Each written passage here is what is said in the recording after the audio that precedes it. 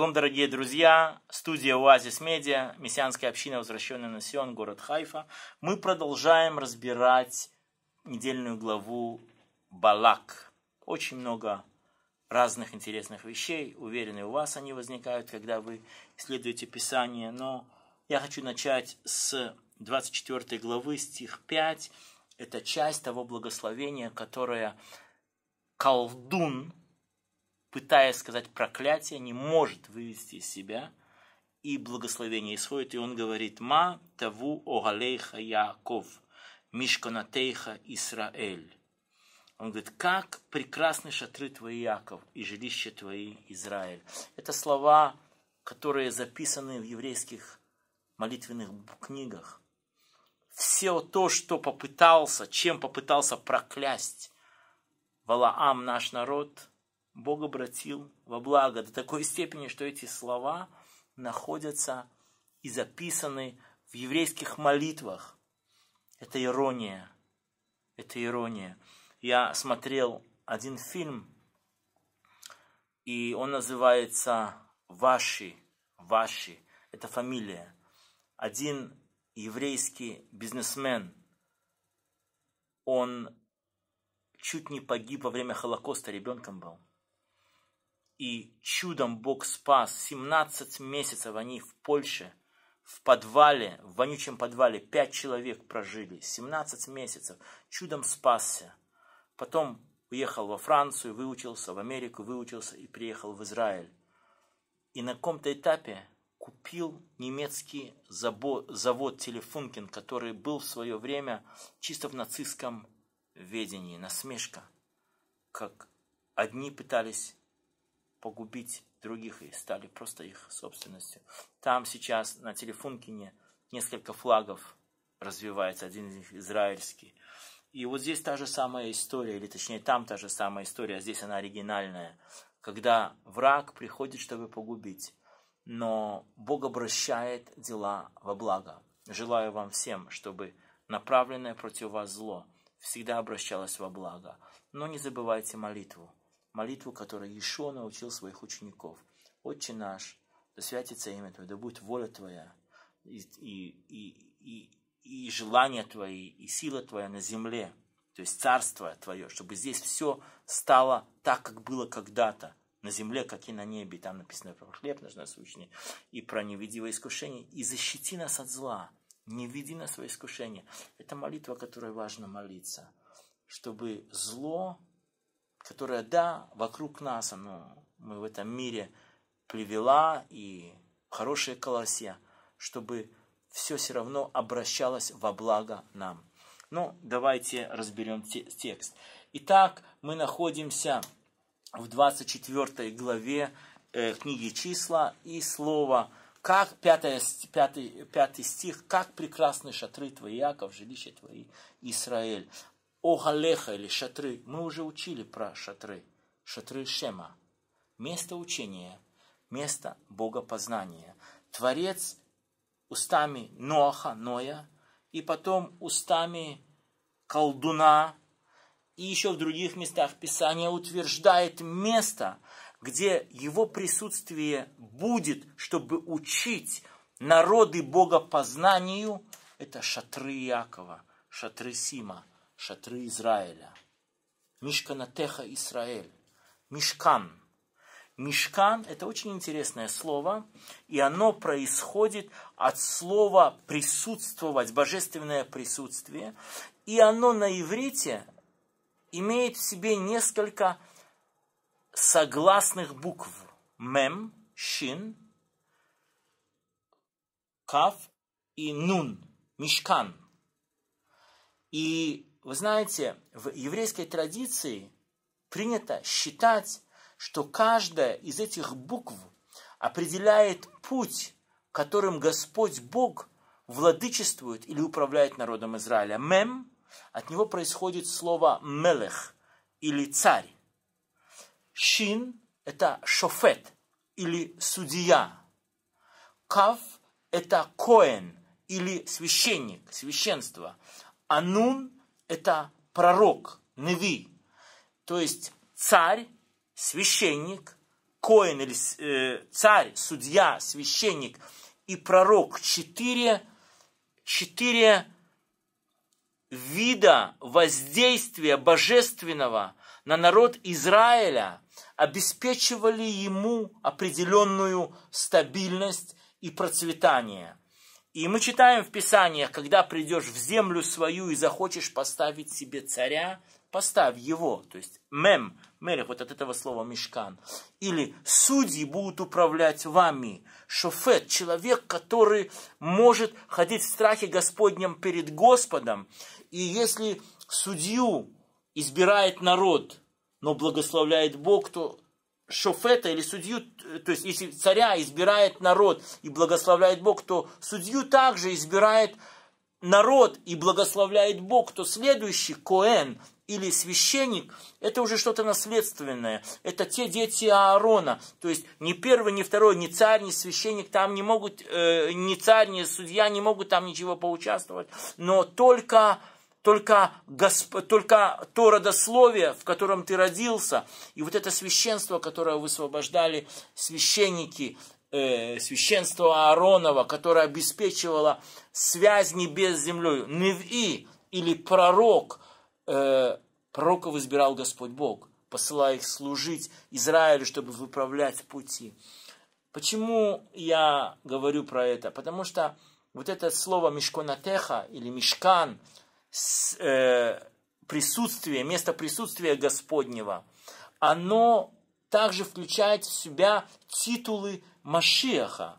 Когда приходит Иешуа, две тысячи лет назад, то приходит как Неви. Он сам про себя говорит, я пророк, подобный тому, который, о котором говорил Моисей. Нави не только который прорицает какие-то слова, говоря так-то и так-то и так-то будет в будущем, но он определяет эпоху. И в данном случае он определяет новозаветную эпоху. И Иешуа открывается как Коген или как священник. И написано, что ты священник по чину Мелхиседека он определяется как судья, хоть эта функция судейства еще не работает. Она будет, когда Господь ее вернется, и написано, и всем нам должно прийти на суд Машиаха. И он будет царствовать здесь как царь. То есть теоретически он уже царь. Он с этим э, осуждением был распят, и он есть царь царей, только еще на земле его царство не признано, но в один день, когда он вернется, будет установлен как царь. То есть, смотрите, мессианское пророчество включено в слова, которые колдун, пытаясь сказать проклятие, сказал благословение. И следующий стих. «Расстилаются они, то есть э, шатры Якова, как долины, как сады при реках, как алойные дерева, насаженные Господом, как кедры при водах. Здесь э, мы можем использовать целую массу аллегорий или пророчеств в Писании. Например, в Откровении есть нечто подобное. «И он показал мне реку воды жизни, блестящую, словно кристалл, исходящую от Бога и от Агнца. Посреди улицы его и по ту, и по другую сторону реки древо жизни, приносящее 12 плодов, каждый месяц дающее плод свой, и листья дерева для исцеления народов. Алойные деревья. Э, в народной медицине очень часто используют алойные э, листья, чтобы исцеляться. То есть вот здесь опять-таки указание на тот грядущий век. Польется вода из ведер его, и семя его будет, седьмой стих, как великие воды, превзойдет Агага царь его, и возвысится царство его.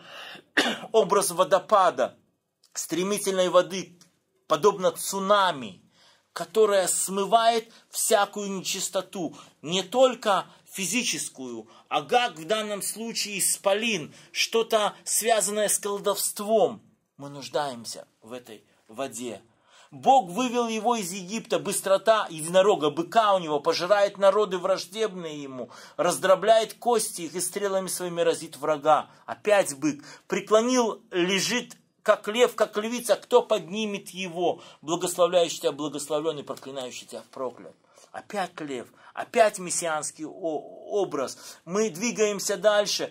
И в 24 главе опять следующая, финальная, заключительная проклятие в кавычках, благословение, которое Валаам изрекает из себя. 17 стих. «Вижу его, но ныне еще нет. Зрю его, но не близко. Восходит звезда от Иакова. Восстает жезл от Израиля и разит князей Маава и сокрушает всех сынов Сифовых». Этот стих непрост, но здесь тоже мессианское пророчество. Восходит звезда. Есть понимание, что те волхвы во времена рождения Господа Иешуа наблюдали как раз именно ту звезду, так как они пришли с той стороны, откуда пришел Валаам. Они слышали про пророчество, и они пришли, ведомые этим пророчеством, чтобы увидеть звезду, которая покажет рождение царя Машеха. Ишуа, который родился в Бейт-Лехем Эфрата. Бейт-Лехем – это город недалеко от Иерусалима с названием дополнительным Эфрата, что обозначает э, Эфраим. Эфраим – символ всего Израиля. То есть рождаемый там будет тем, который в себя вместит весь, весь Израиль и в себе самом искупит весь Израиль. Народы, и здесь написано, э, и здесь написано, э, сокрушает, восстает звезда от Якова, восстает жезл от Израиля, то есть что-то царственное, разит князей Маава, сокрушает всех сынов Сифовых. Если мы детально смотрим вот эти вот выражения, то вот здесь как раз видно то, что я вот минуту назад говорил про мешкан, про, про служение царя, про, про служение пророка, про служение судьи, про служение э, э, коина или священника, которые вкладываются изначально в миссию Машеха, что он придет и проявит свое вот это четырехстороннее служение, чтобы установить божественное присутствие, чтобы та молитва, которой Иешуа научил своих учеников, исполнилась. Да будет воля Твоя, Господь, Царь наш Небесный, на земле, как и на небе, чтобы произошло то восстановление из той всей разрухи духовной и физической, которая перенесло человечество, потеряв место в Эдеме и изгнав Господь его туда, дозволил человеку пройти все эти пути. Читаем дальше, 18 стих. Едом будет, или Эдом будет его владением. Сиир будет под владением врагов своих, а Израиль явит силу свою. Вы знаете, я здесь хочу использовать немножко проблематичное раввинистическое толкование, которое имеет место. Э, Эдомом, Сиир это тоже связано с Эдомом, это многие называют Рим, или Римскую империю, или ту христианскую религию, которая поднялась в третьем веке, после объявления Константином Римской империи христианской, которая оторвалась от еврейских корней и впустила в себя целую массу язычества. Здесь пророчество говорит, Едом будет под твоим владением, то есть настанет время, когда церковь, этот анклав – который до сегодняшнего дня считает, что он заместил Израиль, поймет. И исполнится слова, которые написаны в Захаре, 10 язычников схватится за пол одного иудея. Я думаю, что это больше литеральное выражение, аллегорическое, когда они просто поймут, скажут, мы хотим вернуться к исконному знанию текста, к пониманию, к простоте, которая записана в еврейской Библии происшедшее от Иакова, 19-20 стих, овладеет и погубит оставшиеся от города. Увидел он Амалека и произнес притчу и сказал, первый из народов Амалек, но конец его гибели. Амалек тогда был очень силен, но исполнилось слово. Физически Амалека больше не существует, хотя духовный Амалек до сегодняшнего дня есть. И он видел Кинею, произнес притчу свою сказал, крепко жилище твое, на скале ты, но разорен будет Кинан, и недолго до того и Асур поведет тебя в плен. И произнес притчу свою сказал, горе, кто уцелеет, кого навеет, на кого наведет сие Господь. Придут корабли от Китима и смирят Асура, и смирят Эвера, но и им гибель. То есть здесь, в этом пророчестве, Валаам провозглашает, Бог разными путями проведет израильский народ. и поможет ему найти себя в правильной позиции. Но путь еще долг. Но сейчас я хочу подойти к проблематичной части недельного чтения Балак. 25 стих 24 главы говорит, «И пошел Балак к себе на... Бал, Бал, Бильам, прошу прощения, Бильам к себе на родину, а Балак к себе разошлись». То есть этот говорит, ну чему ты нас, чем мы достигли? Мы столько тебе денег вбухали, а ты их не проклял, благословил. И здесь дальше ничего не написано. Но мы знаем из других мест Писания, что не все так закончилось. Валаам или Бильам понял, что у него нету духовного ресурса, чтобы противостать божественной, сверхъестественной защите на Израиль. И тогда он избирает старый испытанный метод. Мы уже учили про место, с которого он пытался третий раз проклясть Израиля, называется Пеор, или место, где было поклонение Богу плодородия, божеству плодородия, идолу плодородия. И он дает мерзкий совет Палаку и его князьям. Он говорит, послушайте, Израиль защищен Господом до того момента, пока он соблюдает законы и уставы, которые Господь Бог дал им. Но если вы спровоцируете их выйти из этой безопасной зоны, это то же самое, что в Экклесиасте написано, разрушите, помогите им разрушить ограду, змей начнет жалить их.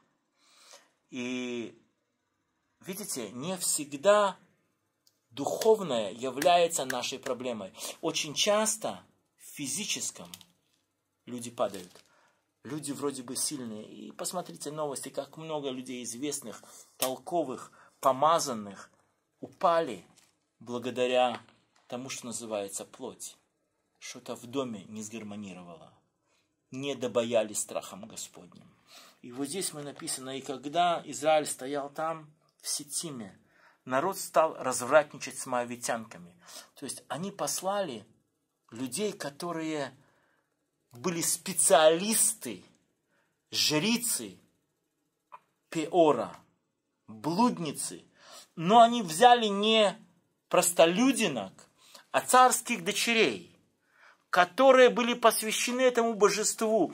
И в том древнем мире – как таковой сексуальной морали было немного, особенно у этих хананейских и вокруг хананейских народов. И блуд, и сексуальная нечистота это было частью того грязного образа жизни, который Творец осудил, и руками Израиля сделал шаг, чтобы очистить совершенно. Но здесь Израиль получил хороший удар. И эти высокопоставленные блудницы пошли и совратили даже не простых людей в Израиле, а князей. И когда они там начали блудодействовать, началось страшное поражение внутри. И Моисей, увидев все это, сказал, еще немножко, мы потеряем божественную защиту мы читаем про Пинхаса, Финес на русском языке. Возревновал о Господе, схватил кольпье и пошел и поразил нечестивца. В те времена это были методы. Сегодня нам запрещены подобные методы, да и не нужно. Зачем? Сегодня, во времена, когда через Господа Иешуа Бог раскрывает нам другие ресурсы, небесные ресурсы. Важно возревновать о них и через них попросить Творца, чтобы Он дал чистоту и праведность и богознание и покаяние. Вы знаете, удары часто, к сожалению, не приносят видимых результатов. Человек часто от ударов костенеет а не раскаивается. И я хочу прочитать место из Писания, которое записано в послании евреям.